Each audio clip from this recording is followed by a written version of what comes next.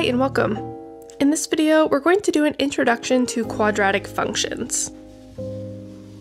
So before I give you the formulas for the general version of a quadratic function, I want to start with our most simple and basic quadratic function. So this is specifically the function f of x equals x squared. So I'm going to start here, we're going to graph this using some points, define some vocabulary, and then we'll expand this to a more general version of quadratic functions. So if I'm starting with x squared as my function, let's look at some inputs x and find the corresponding outputs that are the f of x or the x squared values.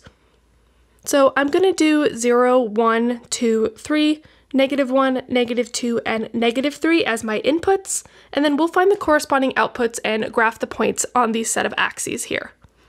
So this is just helping us get an understanding of what kind of shape of the graph we have when we're looking at a quadratic function. So what's noteworthy here is that we have x squared.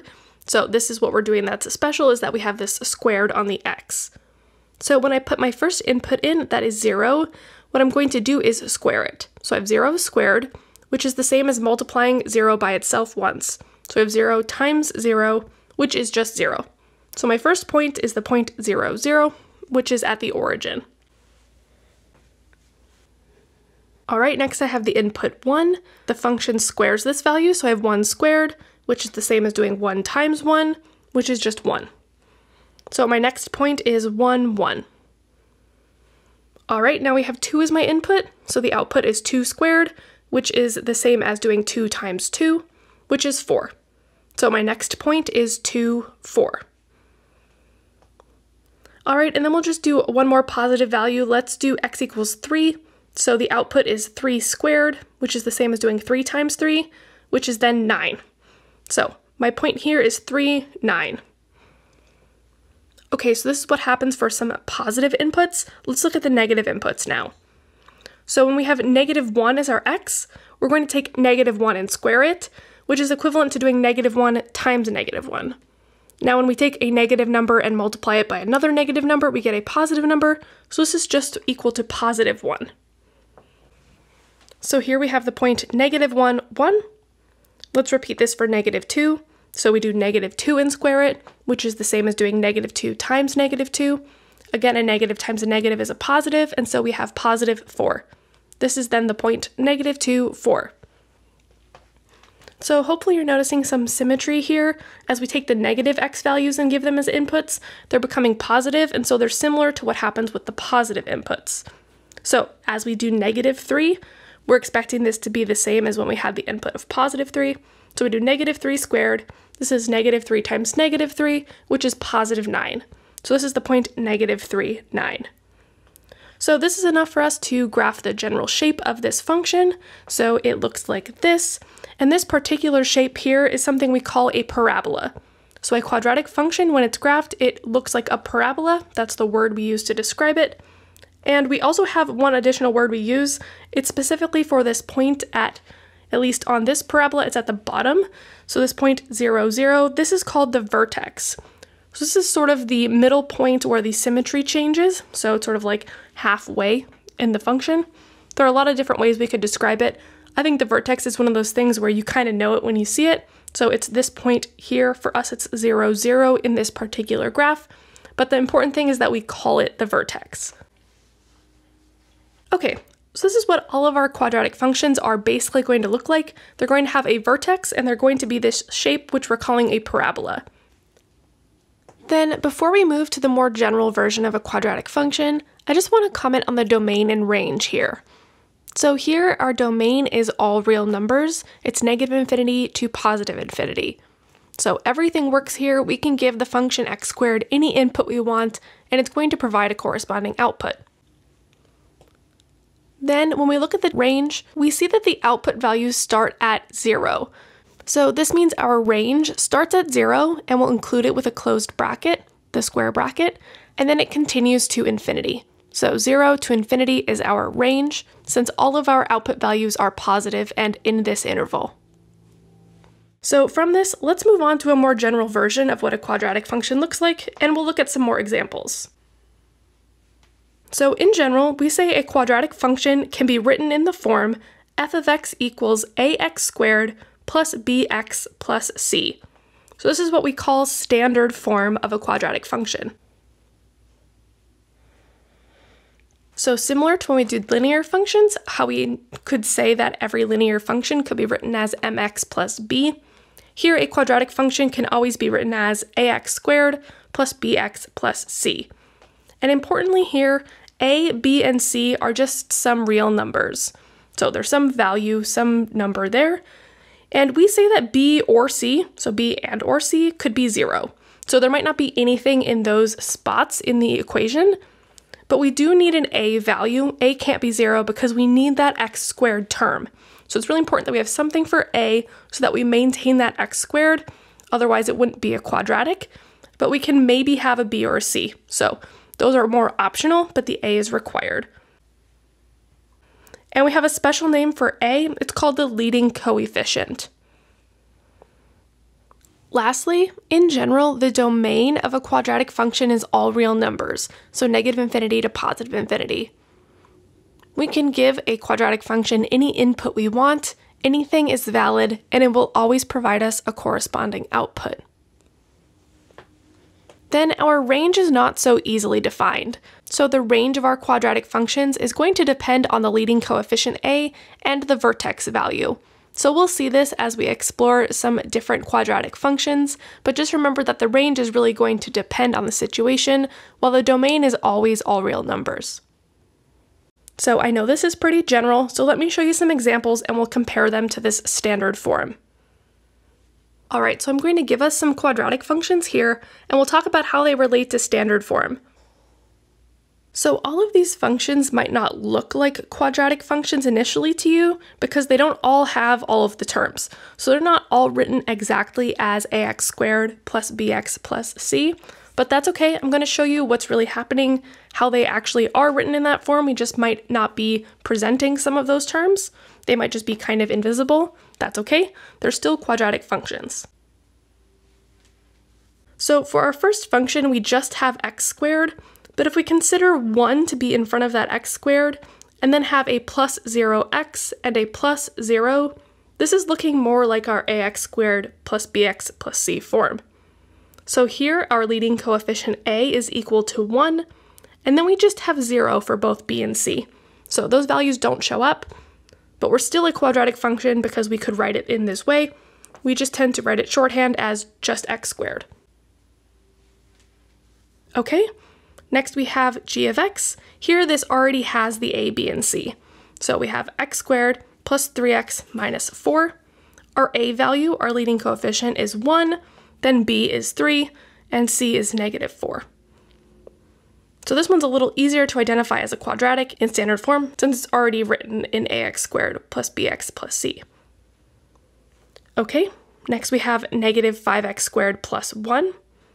Here, this is close, we're just missing the middle term, so I would write this as negative 5x squared plus 0x plus 1. So here the b value is just 0, but this is still a quadratic, and it's quadratic with a leading coefficient of negative 5. So I'm listing out all of these leading coefficients because we're going to make an observation based on these a values in a moment. Okay, next let's look at another example. This is 1 half x squared minus 4x. Here, this is in our standard form. We just have a c value of 0. So this is like having a plus 0 at the end. Our a value here is then 1 half. So a can be a positive number, it can be a negative number, it can be a fraction. It can be anything as long as it's a real value a real number. Okay, then j of x is also already written in standard form in a way we can easily see. We just have negative 2 thirds as the a value, 1 as the b value, and negative 6 as the c value. So if we go to look at these graphs, I just want to make some comparisons between them. So starting with x squared, this is our parabola that has the vertex at 0, 0, and we say it opens upward. So it has this shape where it's sort of a cup that opens up. Then we've talked about this before, but this is going to have a range from 0 to infinity. Next, we have x squared plus 3x minus 4. When we look at this graph, this is still a parabola that opens up. but the vertex is now moved. So the vertex here is at negative 1.5, negative 6.25, and I just want to comment that you can pretty clearly see that these numbers don't depend in a really obvious way on the formula. So we'll talk later about vertex form of a parabola and how the vertex is related to that form, but in this form on its own, you can't necessarily just pick out the vertex, at least not from the formula itself. So with this quadratic function, our range is then negative 6.25 to infinity. Again, including that negative 6.25 because it is one of the output values. Next, we have negative 5x squared plus 1. This is our first quadratic function or parabola that's facing downward. So that negative 5, the negative leading coefficient, is effectively doing a reflection over the horizontal axis, which is making this parabola open downward. So we'll make a generalization about this in a moment, but I just want to point out here that this is a parabola facing down. Also, it has a vertex at 0, 1. So this affects our range. Our range now goes from negative infinity up to 1. So the outputs are all of the values from negative infinity to 1, and we include 1. All right, now we have 1 half x squared minus 4x. This is another parabola that opens upward, and it has a positive leading coefficient. Its vertex is now at 4, negative 8.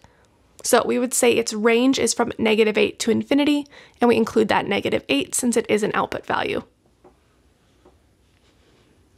Then lastly, we have negative 2 thirds x squared plus x minus 6. So again, we have a parabola that opens downward, so that negative leading coefficient is what is unique here. It's giving us this shape that opens downward.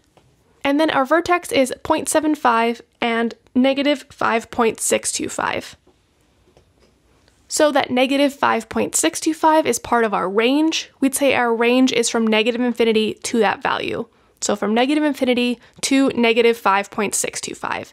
So this vertex value, specifically the y part of the vertex, is what helps us find the range. The domain is always all real numbers, so I'm just talking about the range here. So just to reiterate something I've been hinting at, all of the parabolas that open upward have a positive leading coefficient.